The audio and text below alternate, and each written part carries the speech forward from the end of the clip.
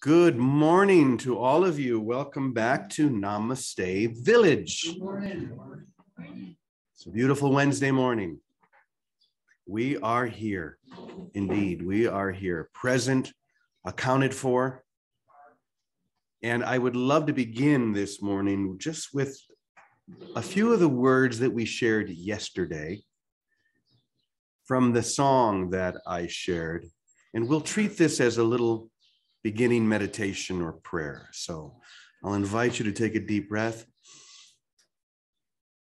and to realize we are here, but to open our hearts and love no matter what. To keep our hearts open, even when it seems most difficult, most challenged, when we're most afraid. Because when we open in that way, we are able finally to see, to know, and to love. My eyes are open. At last I see you. My mind has opened. Finally, I know you. My heart is open. At last, I love you. So see if you can touch that space of open hearted love now. It's like jumping into an ocean and feeling yourself dissolve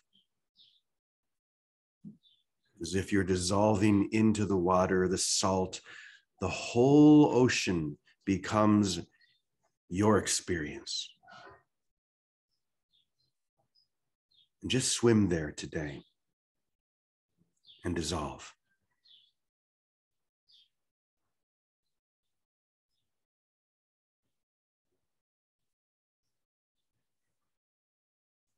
So, once again, welcome to our Wednesday session here at Namaste Village. It's so good to see all of you.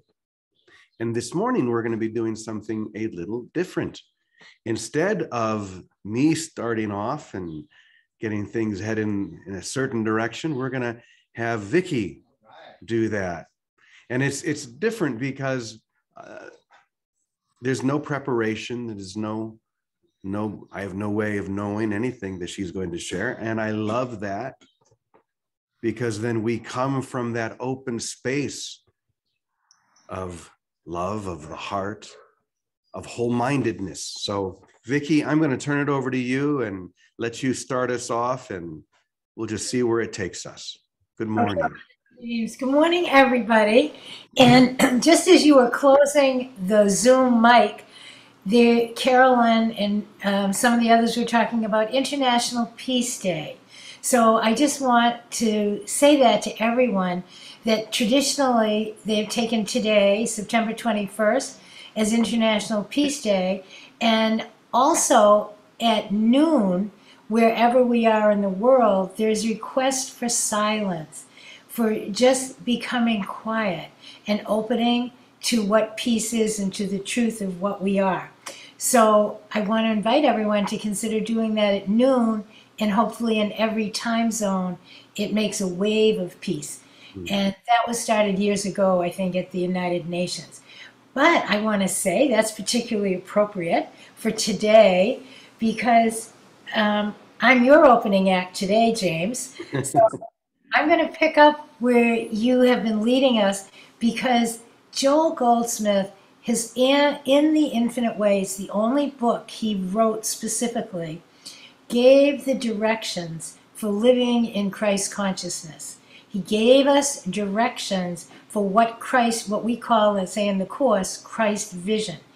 He calls it spiritual consciousness. He calls it fourth, um, fourth degree consciousness. Anyway, it's all, whatever words he or anyone uses, it's the same experience. That's why in any tradition, new or old, traditional or non traditional, the experience of truth is always going to be universal and the same. And there's no lack of agreement on the experience. Although there may be many interpretations, and arguments about what it means and how to do this or that. One of Joel's primary foundational cornerstones is in what um, he writes in chapter four, and I'm picking that up because James left us yesterday right around there to recognize the nature of God, to recognize that God is. That's essentially, I'm going to read you a couple of sentences, just a couple of sentences from that chapter, chapter four, in case you have the book, of God is, because when, when everything proceeds from its foundation, everything. If we have a foundation thought that is not true or has a mistake in it, everything else we build upon that thought is going to tumble and it's going to show up the crack or the mistake that we have in the foundation. If we have a foundational idea and we proceed from that that is true, then everything we do will come forth in that same truth. And the same with us. In the in the course in miracles, Jesus says the cornerstone of thought is that God created me, I am as God created. And in the ego's world, or the world of appearances that Joel also speaks of, we are separated from that source. So everything that proceeds from that has that crack, that that idea built into it of separation and uh, limit. In the idea that we are one with our Creator and that God is, everything proceeds from that and is undertaken through grace, even our experience here in time and space. So what Joel is trying to get us to experience is the ever present moment of now, that right now God is. And his primary directives are short little words that I always love. Their primary directives are rest, let, and is. That as we rest, we let go of the defenses and the thinking in our minds that were based on thinking we were separate beings, separate from our Creator. We rest those thoughts. That what that is what resting is. That's what true stillness is. It's not about the body and the physical sounds.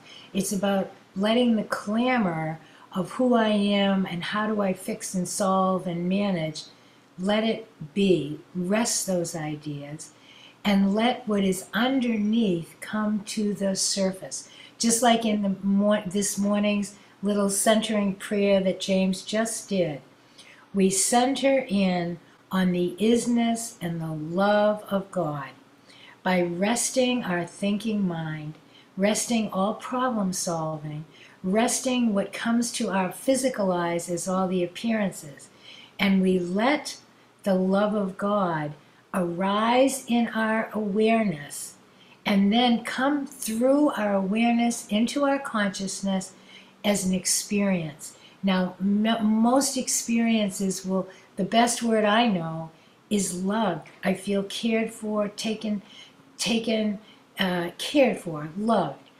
And that the, the, the natural expression of love is to give forth of itself, to love.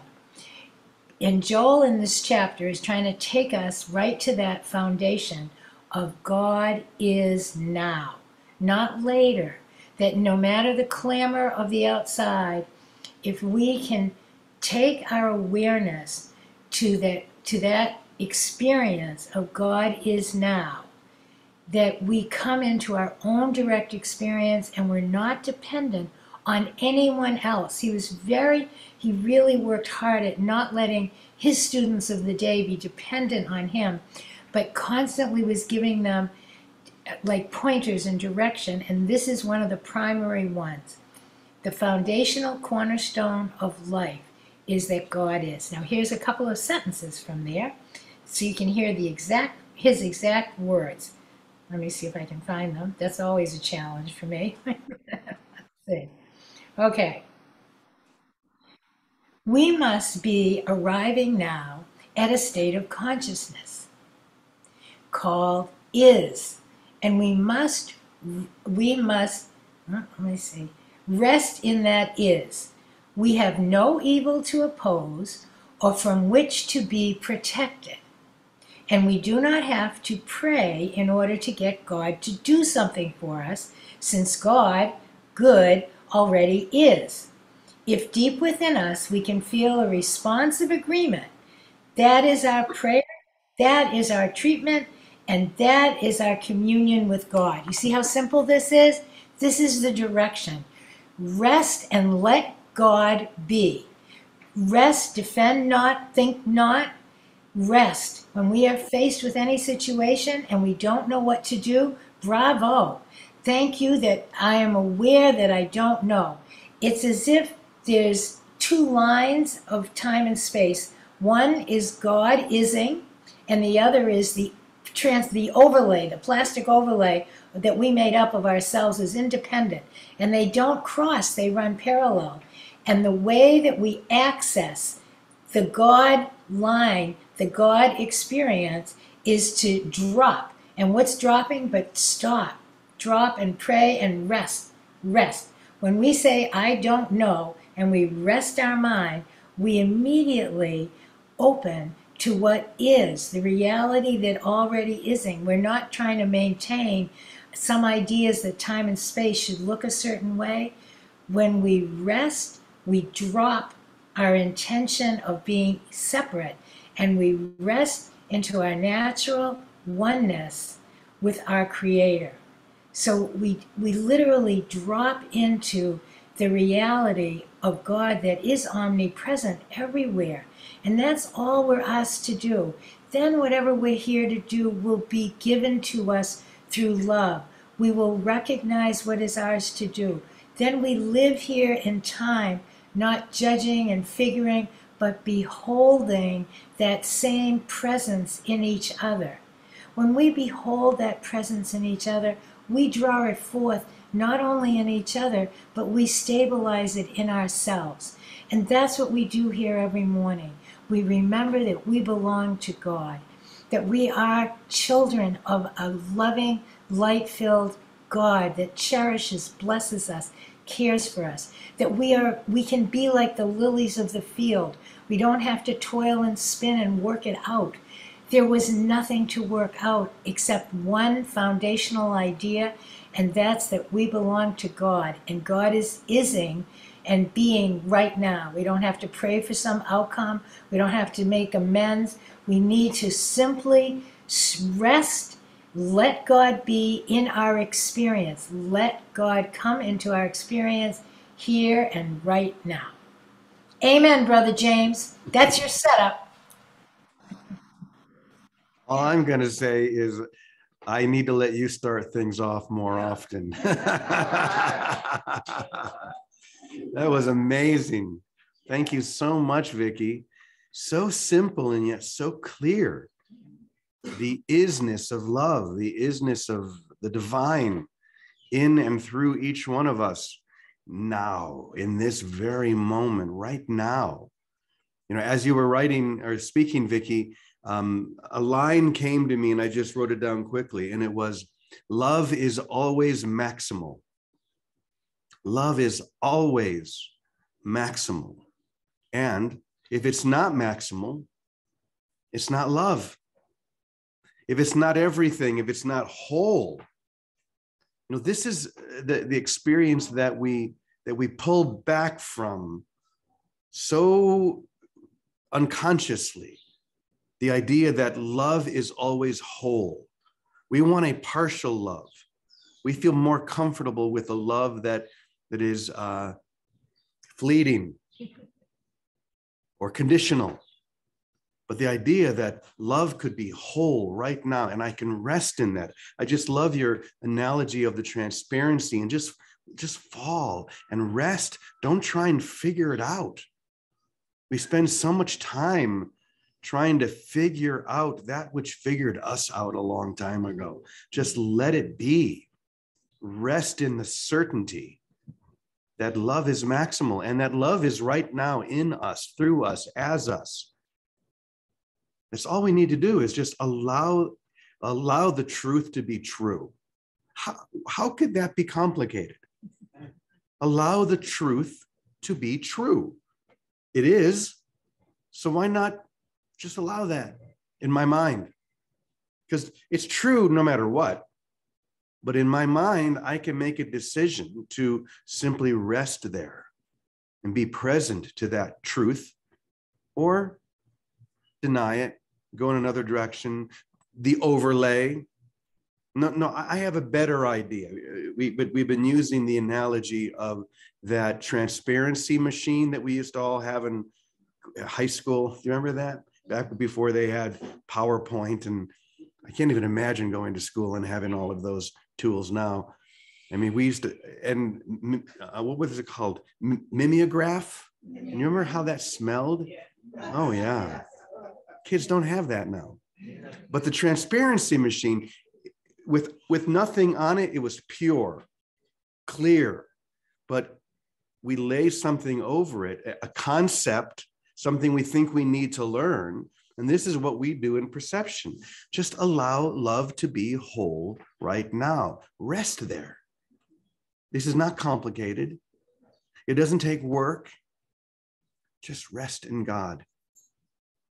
I also love, Vicki, that, that you talked about the ever present moment of now. I mean, when, when you put these things in such a simple way, it's so clear, isn't it? The ever present moment of now. Be there. That's where you are. So you may as well be there. You may as well rest there. Rest, let, is. I love it, Vicki. That's great.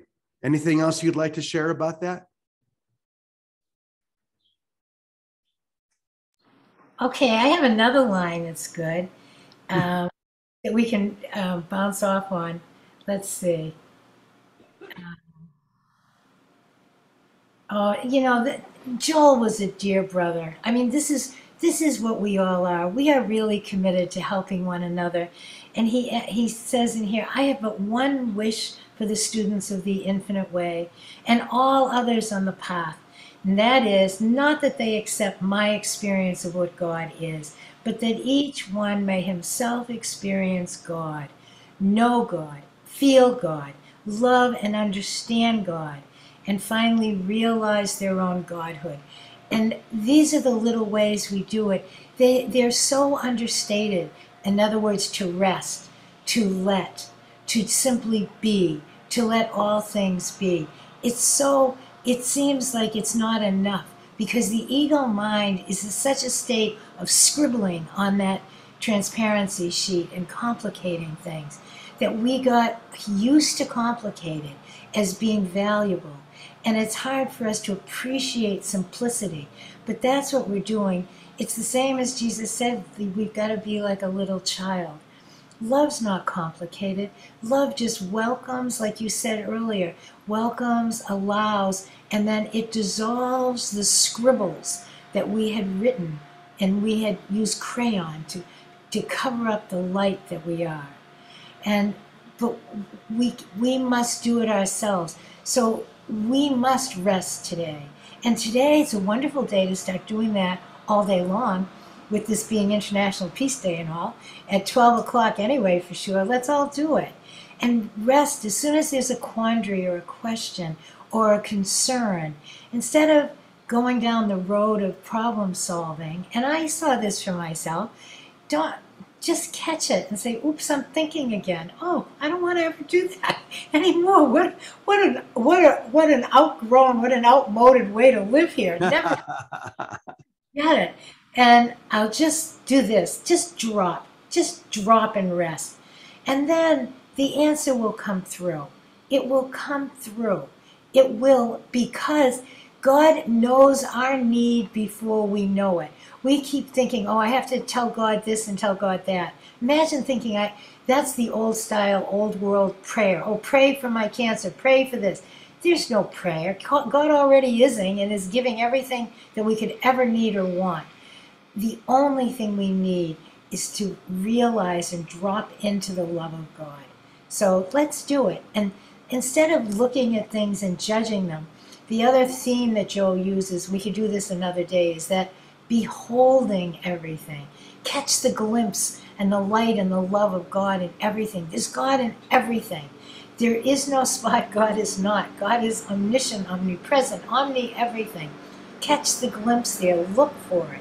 And that's how we drop into this direct experience of love. And we're not dependent on any book, any person, any anything.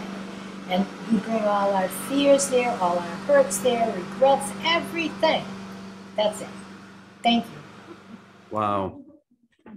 I'm having to take notes because everything you're saying here is so darn good. Just drop, drop and rest. How simple is salvation? I, I, just love the simplicity of this, Vicky. And I, I also like how uh, in the ego mind, its defense is always, well, that's not enough. Just drop into love. That's not enough. There has to be more than that. We, we talked about this, I think it was last week, where the ego will assert itself always, its vision, and will often say, you know, I've already heard that. When are they going to give us something that we haven't heard already? As if this is complicated, as if there's still stuff that we haven't heard or experienced. It's all there. And the analogy that I love that just popped in during the session was if you were madly in love with someone, and they said to you today, I love you, and they said it tomorrow and the next day, would you say to them, You know, you told me that yesterday. Isn't there something more? Can't you tell me something else? No, you wouldn't do that. Every time you hear that, your, your heart would open. And it's the same with this. Every time you hear the simplicity of this truth, your heart will open if you let it, if you allow. And that's why those three experiences of welcome, I allow, I dissolve, are so important. Dissolving is not the end, it's the beginning. Dissolving into love is the beginning. But we're so afraid, as if losing our identity, that something has been lost. Nothing is lost in love. So Vicki, I'm so grateful. Thank you. Let's do this more. Have you start off because it's it was really hot. It was great. And I think we have a few minutes, so I'm going to turn to Calico now. Calico is up in her room, and Calico is always good at adding the punto, the period. So, good morning, dear one. Good morning, everybody. You know, that was a great session. Thank you so much, Vicki. Um, you know, just really, you know, taking these words and applying them into whatever is going on from in me right now. And one of the, the little things that's going on is um, I'm learning to love technology. Okay. And how that looks initially is anything but love. and so I have this phone that um, I think it's dying. and, and I don't want to accept it. And so I'm fighting in my mind. Do I buy another phone? Uh, do I want do I even want a phone? And and the reality is there are things going on in my world that require me to have a phone. So this is what's filling my mind with many thoughts during the day they'll just come out mm, the phone. Yeah what should i do about the phone? And you know i'm sitting here listening to this going god it's your decision whether i have a phone don't have a phone. This phone dies this phone lives. It doesn't matter.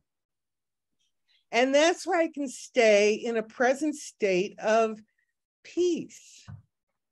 Because as soon as i think the phone, I move out of peace. I'm in this conflicted space of do I, don't I, is it, is it not? And it's like, and there are all these thoughts that floor, you know, just flurry around with that. And it's just keep coming back to God, it's all in your hands. And I'm just going to keep putting one foot in front of the other doing whatever it is that I do today. And somehow this will miraculously clear. And we were talking about this at breakfast, you know, you know, they called the book A Course in Miracles, you know, and that always seemed funny to me because I thought, miracles, hell, this is a lot of work. But the reality is, if you really do this, turn it over to God, let God. God is, so let God. And it's like, and as soon as those prayers become ever present, what happens is you forget about the phone. There are no phones to even think about, let alone worry about. And that's the miracle. It's like those thoughts that used to drive us crazy no longer because it's just been erased. You know, it's you when, when you say you've been healed, it's not like I think, you know, some problem has been taken care of. I managed some problem, therefore I'm healed. No, I don't have to do anything. And that's where the miracle is. I did nothing and the situation took care of itself. And now it no longer even occurs as a thought in my mind. Anyway, that's where my mind took me. And I thank you because yeah, it cleared up all the technology thoughts that I had for today. And that is peace of mind. Amen. Amen. Thank you, Calico. So uh, to close, I, am going to turn to Scott Grace and and see Scott. Maybe you could make up a song that just uses the word the words "love is" or "God is," and and just bring this home for us because you're you're so good at just letting the the music spring forward. So i'm going to turn it over to you and we'll see what holy spirit has to share musically. Okay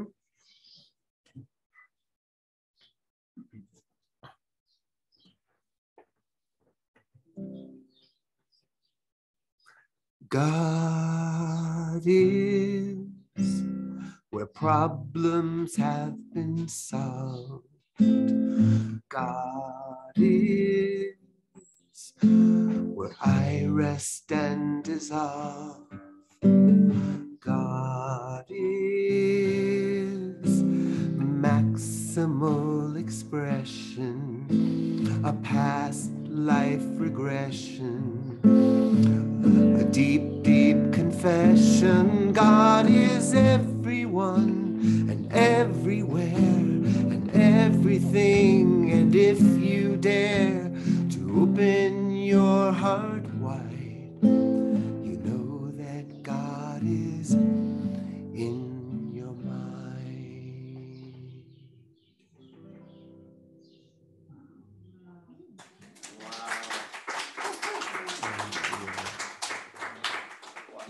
precious opportunity. Thank, Thank you for, brother. Wow. calling on me. Precious indeed. My goodness. Isn't that amazing?